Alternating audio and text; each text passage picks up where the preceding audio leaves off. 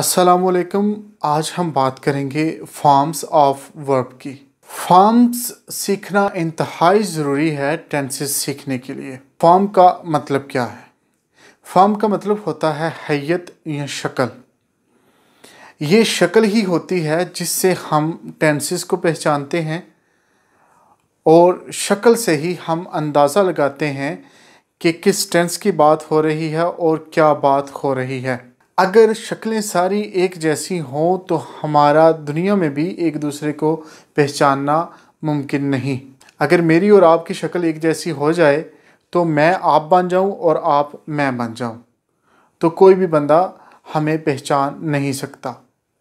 ये forms help करती हैं हमें जुमलों को पहचानने में। एक बात याद रखें, फॉर्म के बदलने से लफ्ज़ के मानी नहीं बदलते लेकिन मफहूम बदल जाता है जुमले का। लफ्ज़ के मानी नहीं बदलते, लेकिन जुमले का मफहूम बदल जाता है। आइए एक एग्ज़ाम्पल से मैं आपको समझाता हूँ। मैंने खाना खाया। मैं खाना खाता हूँ। मैं खाना खाऊँगा।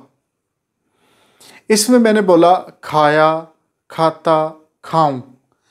अब ये तीनों अल्फाज में मैंने खाने की ही बात की है। लेकिन खाया, खाऊं और खाता तीनों में फ़र्क है। तीनों शक्लें मुख्तलिफ़ हैं और तीनों शक्लें ये बता रही है कि तीनों टेंसेस मुख्तलिफ़ हैं। यही चीज़ इंग्लिश ज़ुबान में भी है। इंग्लिश ज़ुबान में भी तीन ही फॉर्म्स हैं। अब इनमें कुछ टाइप्स हैं। दो तरह की इंग्लिश में फॉर्म्स इस्तेमाल की जाती हैं। एक है रेगुलर यानी कि जो रेगुलर चलती हैं, आम हम इस्तेमाल करते हैं, जिनका इस्तेमाल बड़ा सादा और आसान है। और दूसरी है इरेगुलर जो रेगुलर नहीं है। सबसे पहले हम बात करते हैं इरेगुलर फॉर्म्स की।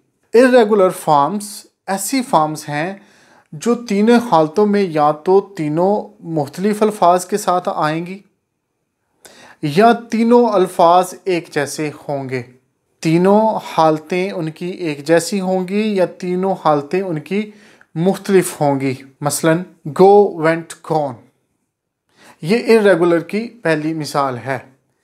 पहली उसकी हालत है गो दूसरी है वेंट और तीसरी है गोन यहाँ ये बात नोट कर लें कि गो वेंट और गोन तीनों का मतलब जाना ही है। बाज़ लोग ये बताते हैं कि गो का मतलब जाना, वेंट का मतलब गया और गोन का मतलब जा चुका। ऐसा नहीं है। गो, वेंट, गोन तीनों का मतलब जाना ही है। लफ्ज़ के मानी नहीं बदलते, मफहूम बदल जाता है। जब हम गो कहेंगे तो मफहूम और है, वेंट कहेंगे और मफहूम लिया जाएगा, गोन कहेंगे तो जुमले का मफहूम और लिया जाएगा। मानी वही रहेंगे। दूसरी मिसाल है स्पीक स्पोक स्पोकन इसमें भी फॉर्म की तीनों हालतें बदल गई हैं। इरेगुलर की जो दूसरी मिसाल है, दूसरी टाइप है, वो है कट कट कट अब तीनों हालतें एक जैसी हैं लफ्ज़ एक ही है, लेकिन हमें पता कैसे चलेगा ये फॉर्म पहली है, दूसरी है, तीसरी है? जैसे जैसे आप सीखते जाएँगे, आपको नॉलेज हासिल होता जाएगा, आपको समझ आ जाएगी कि कहाँ दूसरी फॉर्म, कहाँ तीसरी और कहाँ पहली इस्तेमाल हुई है। Put put put. यहाँ भी तीनों हालतें एक जैसी हैं, एक लफ्ज़ की तीनों हालतें एक जैसी हैं। अब हम बात करते हैं रेगुलर फॉर्म्स की। रेगुलर फॉर्म्स को बनाने का तरीका इंतहाई आसान है। आपने कोई भी लफ्ज़ आपके पास वर्ब है, जैसे है प्ले इसके एंड पे आपने ई डी का इजाफा कर देना है, ये बन जाएगा प्लेट और तीसरी फॉर्म भी इसकी होगी प्लेट जहाँ लफ्ज़ एंड हो रहा हो ई पे तो आपने डी का इजाफा कर देना है। जहाँ लफ्ज़ का एंड ई पे ना हो रहा हो तो आपने ई डी लगा देना है। मुख्तसर सा, आम सा, सादा सा रूल ये है कि आपने लफ्ज़ के एंड पर ई डी का इजाफा करना है वर्ब के एंड पे ई डी का इजाफा करना है तो ये आपकी दूसरी और तीसरी फॉर्म बन जाएगी। Plate plate plate clap clapped clapped listen listened listened watch watched watched ये था फॉर्म्स का तरीका।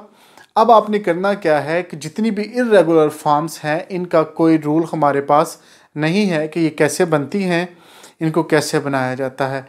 ये तकरीबन 150 के करीब ये इरेगुलर फॉर्म्स हैं, जो आपने याद करनी है और ये आपको याद करनी पड़ेंगी। इसके अलावा जितनी भी इंग्लिश में फॉर्म्स इस्तेमाल होती हैं, वो सारी रेगुलर है। मैं उस इंग्लिश की बात कर रहा हूँ जो आजकल इंग्लिश इस्तेमाल होती है। अगर आप पुरानी इंग्लिश ढूंढेंगे, उसमें आपको बहुत सारी ऐसी फॉर्म्स मिल जाएँगी जो इरेगुलर हैं। आजकल की जो इंग्लिश है, उसमें तकरीबन 150 फॉर्म्स हैं जिनसे हमारा रोज़मर्रा की ज़िंदगी में वास्ता पड़ता है। तो आप वो फॉर्म्स याद कर लें। और उसके अलावा जितनी भी फार्म्स हैं, वो रेगुलर हैं।